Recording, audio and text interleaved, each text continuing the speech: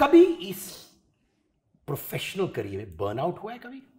Burnout as in burnout माने बस आदमी कहता है कि बहुत हो चुका है यार अब मुझे मैंने नहीं करना ये थोड़े समय के लिए। अच्छा नहीं ऐसा तो नहीं इनफैक्ट उल्टा हुआ है ऐसा लगता है अभी तो बहुत कुछ बचा है यार अभी तो बहुत कुछ करना है। तो वो बहुत कुछ हो गया वाली बात तो आती नहीं और इनशाला वो बहुत साल तक आने आने भी नहीं वाली है अभी तो ऐसा ही लगता है कि यार अभी तो इतना किया अभी तो ये करना है ये करना है ये करना है तो अभी तो बहुत सारा है दिमाग में जो करना है and you know I want people to know and to see अरे I've got your back Yeah, Baba thanks we've got you that. darling I करो देखो आप जैसे लोग Yeah. लोगों को लगता है कि 40 million great journey joy ride but millennials है यंगस्टर्स है who must realize that we all go through failures अगर मैं आज बात करूँ मेरे failures की line is bigger than my success tell me those two three failures which made you the strong sensible जन्नत जुबैर that you are वो कौन से हैं Uh, तो फेलियर्स की बात करें तो when I started my journey, I think it was all about failures initially in my initial months and few years. So I think वो maturity, the sense of maturity and the sense of knowing that I am going to be a part of an industry where I have to feel rejections and I have to face them. you were aware of these rejections Of course, I was. Not initially, not before I started. But when I started going to auditions, तो मेरा selection नहीं होता था नहीं होता था नहीं होता था आई रिमेम्बर एक डेढ़ साल बाद मुझे दो कॉल्स आए थे जब मैं शॉर्ट लिस्ट हुई थी और वो जो शॉर्ट लिस्ट वाली खुशी थी, वो इतनी बड़ी थी कि मैं शॉर्ट लिस्ट हुई हूँ।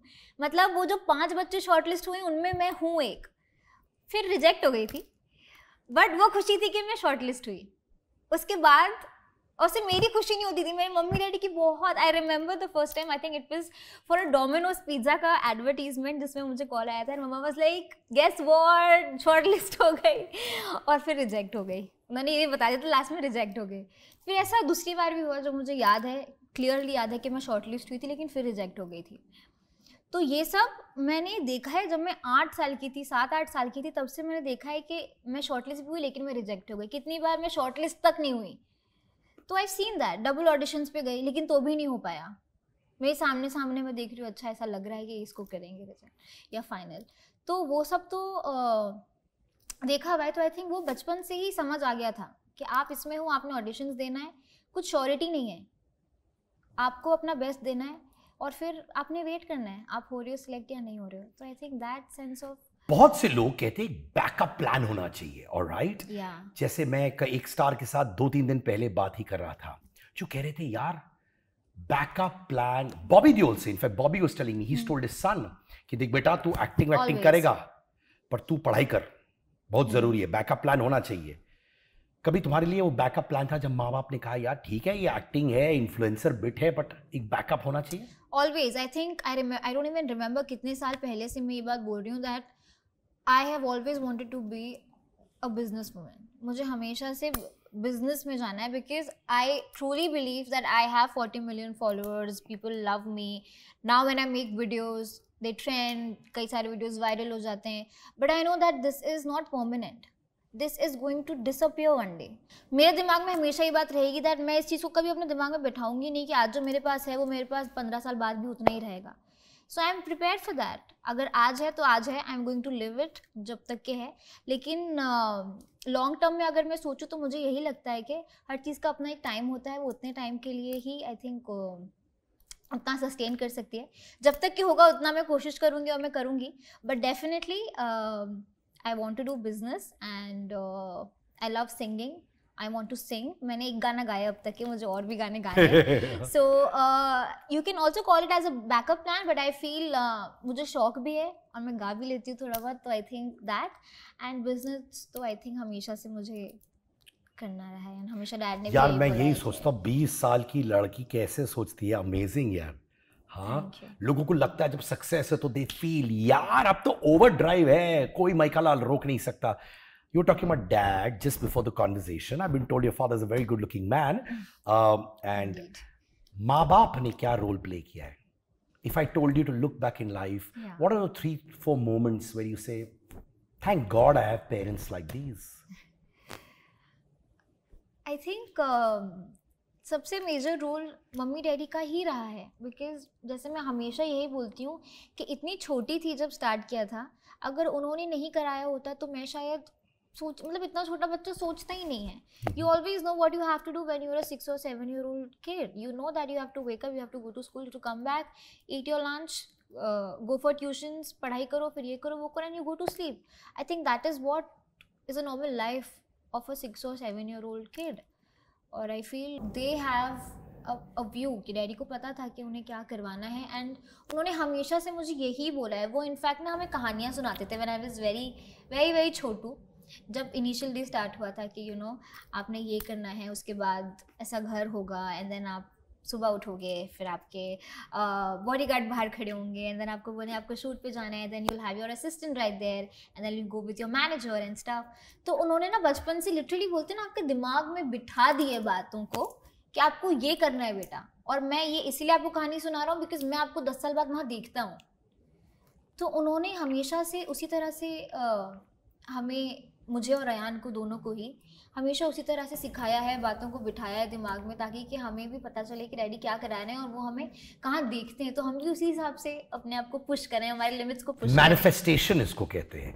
When you manifest things in the future एक किताब है सीक्रेट करके which talks about this आप उसके बारे में सोचते हो और आपकी लाइफ उस दिशा में चली and that has actually happened in our life. That has actually happened. जो भी मतलब डैडी ने सोचा है या जो भी फिर हम लोगों ने आ, साथ में सोचा था कि करेक्ट ऐसा करेंगे ऐसा हो जाएगा ऐसा हो जाएगा वो हुआ है और वो हो रहा है मतलब it's still happening so I think it's very beautiful कि you know when you dream big और मे बी आप सपने मेरे डैडी ने हमेशा ये बोला है कि जब भी नहीं कुछ होता तो बड़े सपने नहीं देखने चाहिए या जो भी है बैकग्राउंड नहीं है आपका कोई इंडस्ट्री में या फिर यू you नो know, कोई गॉड फादर नहीं है. तो डैडी ने ये बोला बेटा सपना देखोगे नहीं तो फिर पूरा कैसे करोगे सोचोगे नहीं तो उसको जियोगे कैसे जैसे तुम you are also good actress but I am not seeing you too much on television और ऑन बॉलीवुड पर देखा जाए तुम्हारा खुद का प्लेटफॉर्म है यार तुम कह सकते हो कि चार करोड़ लोग मुझे देख रहे हैं you know always Do you feel you wish you had a godfather and maybe you would have been doing one of those big films as well? No. Never? No. No. I don't think that. And I feel अगर वैसा होता ना तो मैं थोड़ा कम grateful होती, जितनी आज मैं हूँ। मैं ज़्यादा ग्रेटफुल हूँ बिकॉज़ मेरा कोई गॉड फादर नहीं था, ना मेरा कोई बैकग्राउंड था, ना कोई ऐसा सोर्स था जिसके वजह से मुझे काम मिला। आई फील जो भी हमने किया है, वो अपनी मेहनत से किया है, अपने हार्डवर्क से किया है, अपने स्ट्रगल से किया है और अपने खुद के टैलेंट से किया है। तो कभी कोई लाइफ में ये नहीं बोल सकता कि इसके वजह से आपको ये मिला है या अगर वो नहीं होता तो शायद आप नहीं करती। या वो कभी वो डाउट कभी मुझे ही नहीं आएगा या मैं कभी अपने आप पर डाउट नहीं करूँगी यार कि शायद मेरे में इतना टैलेंट नहीं होगा बट ये था या हमारा गॉड फादर था या हमारे सोर्स थे तो इस वजह से शायद मैं हूँ जहाँ पर हूँ ये थॉट कभी नहीं आएगा and I think that is very very important ना I am so confident about myself I know that even if I don't have a godfather I don't have some anyone from the industry I know still where I'm sitting and where I'm standing, and that is, I think, that is my power. Honestly. Have you ever reached out to a director or producer और बाद में उन्हें उन्होंने आपको सही से नहीं treat किया। ये कहते हुए कि यार ठीक है वेट करो बाहर दस घंटे बाद आपकी मीटिंग होगी। ऐसा कभी हुआ है आपके साथ? नहीं ऑनेस्टली ऐसा ऐसा कभी भी नहीं हुआ है। लकीली uh, ऐसा कभी भी नहीं हुआ है। सिर्फ़ ऑडिशंस में ही हम uh, वैसे जाते थे ऑडिशंस देते थे। बाकी ऐसा जो मीटिंग है या बाद में आओ या फिर ऐसे अच्छे से ट्रीट ना करना ऐसा कभी भी नहीं हुआ। क्योंकि जब मैं चाइल्ड एक्टर थी तब आपके मीटिंग्स होते नहीं थे प्रोड्यूसर से या डायरेक्टर से। uh, बच्चों के और वो भी वो टाइम पे तो बिल्कुल भी नहीं होते थे। आप बस जाते थे अपना शूट करते थे। और जब मेरे मीटिंग्स करने का टाइम आया तब तक के मैं ऑलरेडी इंडस्ट्री में आठ नौ साल सीनियर हो चुकी थी। तो एटलीस्ट वो थॉट हमेशा लोगों को रहा है दैट कभी भी किसी ने मुझे एज अ फ्रेशर ट्रीट नहीं किया। आई फील अगर मैं बड़ी होने के बाद ट्राई करती तो डेफिनेटली मेरे साथ ऐसा हो सकता था। बट सिंस uh, मैंने वो एज में मेरे मीटिंग करने की स्टेज आई जब सबको पता था that you know she is a senior actor she is been doing since so long तो कभी किसी ने मुझे उस तरह से ट्रीट नहीं बट जन्नत द इन्फ्लुएंसर क्या जन्नत दी एक्ट्रेस को ओवरशैडो करती है? एक परसेप्शन होता है यार इसको एक्टिंग के लिए लोग खूबसूरत है इंटेलिजेंट है विच यू आर बट कभी कभार लगता है ये तो डिजिटल में इतना दिखती है कि maybe she won't be fresh enough for television or films. Do you feel like that? I think ये जो आपने बोला है ना that won't be fresh enough for films I think this have been getting since my childhood because हमेशा एक uh, लोगों का पर्सपेक्टिव ये रहता था कि अगर आपने इंडस्ट टेलीविज़न से चार पाँच साल के लिए आप गायब नहीं हुए तो आपको मूवीज़ में नहीं लेंगे बिकॉज़ वो टेलीविज़न के फेसेस को नहीं लेते हैं मूवीज़ में या लोग आपको बचपन में इतना देख लेते हैं या आपके uh, वो आपको शायद फिर फ़िल्मों में ना लें बिकॉज़ आप इतना दिखते हो लोगों को रोज़ तो वो फ्रेशनेस नहीं रहती है, जैसे आपने बोला। बट उस चीज़ को हमने कभी भी उस तरह से नहीं लिया था। मैंने अपना जो भी मैं चाइल्डहुड से कर रही थी, वो शोज़ करे, उसके बाद मैंने शो किया तू आशिकी। उसके बीच में मैंने कोई गैप नहीं लिया था। I was fifteen years old मैंने sign that show as an adult lead तो डैडी का हमेशा ये था कि हम किस बेस पर दो चार साल का गैप लें। यू you नो know, हमारे पास अ, कोई ऐसा तो है ही नहीं कि हमें चार साल बाद मूवी मिलनी ही है। नहीं मिली तो क्या? तो हम वो हमारे पास कोई रीज़न नहीं है ब्रेक लेने का कि हम चार साल बाद कैसे आएँगे या कब लॉन्च होंगे। तो वो डैडी ने बोला कि हम ब्रेक नहीं ले सकते। हमें तो दिखना है। वो आगे जो होगा that is going to be destiny but हमने तो काम करना है। We can not take any break और वैसा कुछ हुआ नहीं। मैंने कभी ब्रेक नहीं लिया। और टचवुड मुझे कभी ऐसा नहीं लगा कि यार मेरे पास काम नहीं आ रहा है। जब मैंने तू आशिकी छोड़ दिया मुझे अभी तक के इतने इतने टचवुड शोज़ के ऑफ़र आते हैं बट इट्स दैट टीवी मुझे अभी नहीं करना बिकॉज़ वो इतने साल से बचपन से ही करती आ रही हूँ और उसका थोड़ा स्केड्यूल बहुत ज़्यादा हेक्टिक सा लगता है रोज़ बारह घंटे शूट करना। क्या क्या कहानियाँ सुनी है? पर ये बताओ बॉलीवुड एस्पिरेशंस है?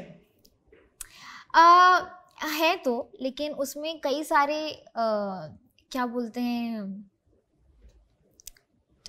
dos and don'ts dos and don'ts हैं प्लस ऐसा लगता है कि it's kind of kind of difficult to get something what I actually want to do you know also being an outsider from not being in the industry और since इतने time से अभी मैंने बंद भी किया हुआ है, मैं चाहती हूँ to always do something that is you know kind of women oriented or something that revolves around you or something that lets you show your acting skills and stuff like that i think it's kind of difficult to get something like that but i'm actually very keen on doing something related to what i want to do if I told you कि one person to be cast opposite you तुम्हारे पहले project में एक wish list होता तो कौन सा actor है जो आप बोलती काश मेरे ऑपोजिट होता oh like that पहले तो मैं ये चाहती कि कोई हीरो हो ही ना जो फ़िल्म मैं करूँ। क्या बात है। व्हाई नॉट व्हाई नॉट या so let's just think it that way मैं चाहती हूँ अगर मैं कोई लॉन्च हो रही हूँ या अगर मैं बॉलीवुड में कोई फ़िल्म कर रही हूँ तो it only has to be on me और अगर कोई लड़का ना हो तो मुझे लगता है कि मैं उसको अच्छी तरह से चला लूँगी या I can carry I love that confidence, full power.